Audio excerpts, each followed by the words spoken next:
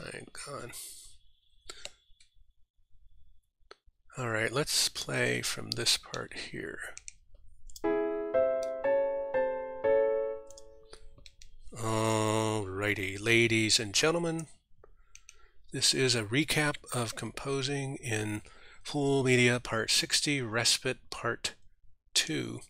In today's episode, we set out to work with the new piece, composing in full media, shadow snippets 4, light snippet 5, dark snippet 6, and to make a line energy chart. What we have done is we have relabeled and restructured the new piece, and we now have a working title, Fawns and Does, because there's a gawky part and a svelte part.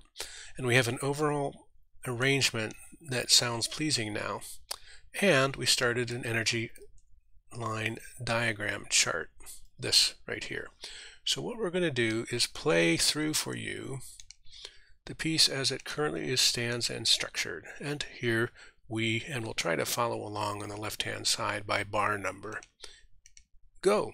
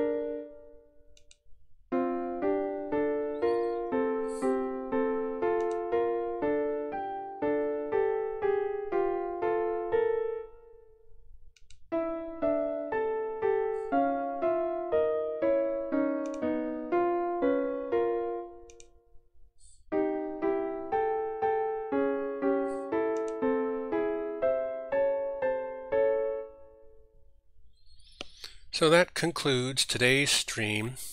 What we like about it is this idea of the fawns and the does. And the fawns are gawky and romping around and falling over and bumping into things, and the does are svelte and swave and looking on indulgingly. And then at the very end, there's blink. There, one of the fawns runs right into mom. Uh, but no problem, they keep on going. So our ideas next time are to continue working with it uh, the line diagram and tuning. Tune in next time to see how that goes. Thank you for your time and attention in this stream, and we look forward to seeing you again. And take care and keep on streaming.